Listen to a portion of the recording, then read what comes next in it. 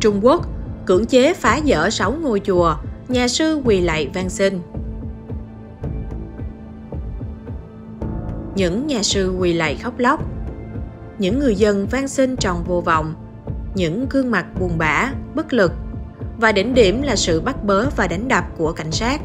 Hình ảnh đau lòng này là của người dân Tây Tạng cách đây mấy ngày. Nguyên nhân bi kịch là do chính quyền Trung Quốc có kế hoạch xây dựng một trạm thủy điện lớn trên sông Kim Sa chảy qua khu vực Uông Bố Đính của huyện Đức Cách, Tứ Xuyên và buộc người dân Tây Tạng trong khu vực phải di dời đi nơi khác.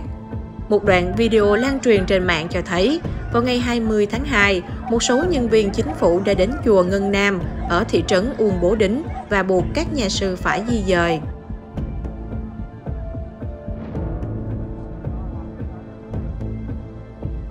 Những nhà sư và nhiều người dân Tây Tạng đã đuổi theo các nhân viên chính phủ để cầu xin đừng bắt họ di chuyển đi nơi khác. Họ thậm chí còn quỳ xuống cầu xin chính phủ ngừng thi hành lệnh di dời nhưng đều bị phớt lờ và từ chối. Theo AFA, các nhà sư và những người Tây Tạng khác đã biểu tình phản đối dự án xây đập vì nó sẽ phá hủy 6 tu viện Phật giáo và hai ngôi làng. Một trong các ngôi chùa này chứa đựng những bức tranh tường cổ có niên đại từ thế kỷ 13.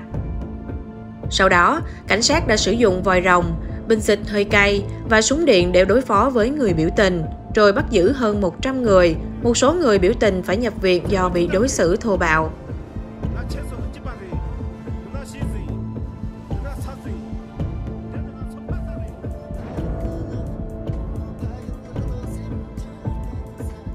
Trước đó, vào ngày 14 tháng 2, hàng trăm người Tây Tạng đã tập trung trước văn phòng chính quyền huyện Đức Cách,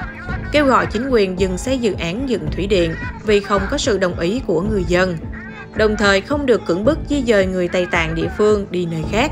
Tuy nhiên, họ đã bị cảnh sát dùng bạo lực để giải tán.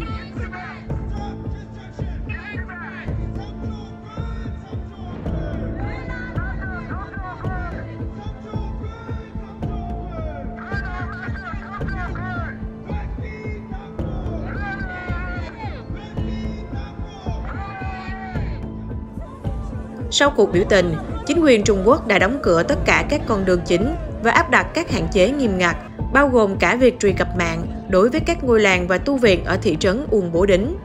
Bên dưới video, nhiều người để lại bình luận lên án cách làm của chính quyền Trung Quốc như Chính sách vô nhân đạo và diệt chủng được gọi là tái định cư đã buộc nhiều người Tây Tạng phải rời bỏ quê hương, rồi sau đó thành lập các trại tập trung để đảng Cộng sản Trung Quốc thống nhất quản lý và kiểm soát người Tây Tạng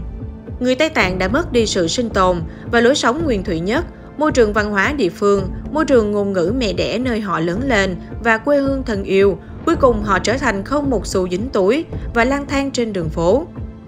Việc xây dựng các trạm thủy điện đã gây tổn hại nghiêm trọng đến môi trường sinh thái của các khu vực Tây Tạng ở thượng nguồn sông Dương Tử, gây nguy hiểm cho sự sống còn của người dân Tây Tạng và thiên tai liên tục xảy ra. Đây là sự thật về cái gọi là sự quan tâm và phát triển của Đảng Cộng sản Trung Quốc đối với người dân Tây Tạng. Đây là cuộc sống mà người dân Tây Tạng đã phải sống dưới họng súng kể từ khi bị Trung Quốc mới chiếm đóng.